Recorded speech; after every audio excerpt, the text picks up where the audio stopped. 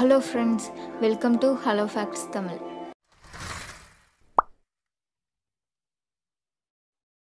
அமெரிக்காவில் உள்ள ரேண்டம் ஃபேக்ட்ஸை பற்றி இந்த வீடியோவில் பார்க்கலாம். அமெரிக்காவில் வருஷத்துக்கு நாலு கோடி பேர் ஜிம்காக மட்டுமே ஆயிரத்தி தொள்ளாயிரம் கோடி டாலர் பணம் செலவழிக்கிறாங்களாம். அமெரிக்காவில் சராசரியாக ஒவ்வொருத்தருக்கும் மூன்று கிரெடிட் கார்டுகள் இருக்குதான் காற்றாலை மூலம் மின்சாரம் தயாரிக்கிறதுல முன்னணியில் இருக்கிற நாடு அமெரிக்கா. அங்கே மொத்த மின்சாரத்தில் ரெண்டு சதவீதம் காற்றாலை மூலம் தயாரிக்கப்படுதான்.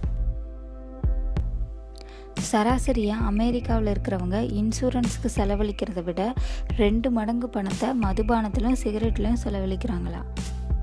உலகத்தை நூற்றி ஐம்பது முறை சுற்றி வர்ற அளவுக்கு நீளமான சாலைகள் அமெரிக்காவில் இருக்குதான். சமீப காலம் வர உயரமான மனிதர்களை அதிகமாக கொண்டிருந்த அமெரிக்கா இப்போ பருமனானவர்களோட பட்டியலையும் முன்னேறிட்டு வருது. அமெரிக்காவின் பன்ஹாட்டன் பகுதியில் பாதிக்கு மேலானவங்க தன்னந்தனியே வாழ்ந்துட்டு வராங்களாம். அமெரிக்காவில் பத்தில் எட்டு மோசமான பேரழிவுகள் சூறாவளியாலேயே ஏற்படுதான் அமெரிக்காவின் கெண்டகியில் ஒவ்வொருவரும் ஆண்டுக்கு ஒரு முறையாவது குளிக்கணுங்கிற ஒரு சட்டமே இருக்கான் மிக நீளமான மனித சங்கிலி ஆயிரத்தி தொள்ளாயிரத்தி எண்பத்தி ஆறு மே இருபத்தஞ்சு அன்று பதினஞ்சு நிமிஷத்துக்கு நிகழ்த்தப்பட்டதான் நியூயார்க் முதல் கலிஃபோர்னியா வரை ஆறாயிரத்தி அறநூற்றி எண்பத்தி ரெண்டு கிலோமீட்டர் தூரத்துக்கு அறுபத்தஞ்சு லட்சம் பேர் கைகோத்து நின்னாங்களாம். அமெரிக்காவின் கொலராடோ மாகாணத்தில் இருக்கிற சில்வர் லேக்குங்கிற பகுதியில் உலகிலேயே அதிக பனிப்பொழிவு ஆயிரத்தி தொள்ளாயிரத்தி இருபத்தி ஒன்றில் ஏற்பட்டுதான் இதோட அளவு நூற்றி ரெண்டு புள்ளி அஞ்சு சென்டிமீட்டர்.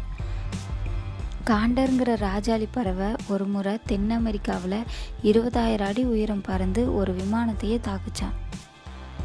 அமெரிக்காவின் லாஸ் வேகாஸில் உள்ள ஒரு ஹோட்டலின் பிரகாசமான லைட்டோட வெளிச்சம் நானூறு கிலோமீட்டர் தொலைவில் இருக்கிற விமானத்திலேருந்து கூட பார்க்க முடியுமா? நியூயார்க் நகரத்தில் எம்பயர் ஸ்டேட் பில்டிங் கட்டுமானத்தில் ஒரு கோடி செங்கற்கள் பயன்படுத்தப்பட்டிருக்கான். ஏழு ட்ரக்கில் எடுத்து செல்லக்கூடிய அளவு எடையான சாக்லேட் சிப் குக்கிங்கிற பிரம்மாண்ட பிஸ்கட்டை அமெரிக்காவில் இருக்கிற ஒரு பேக்கரி தயாரிச்சிருக்கு.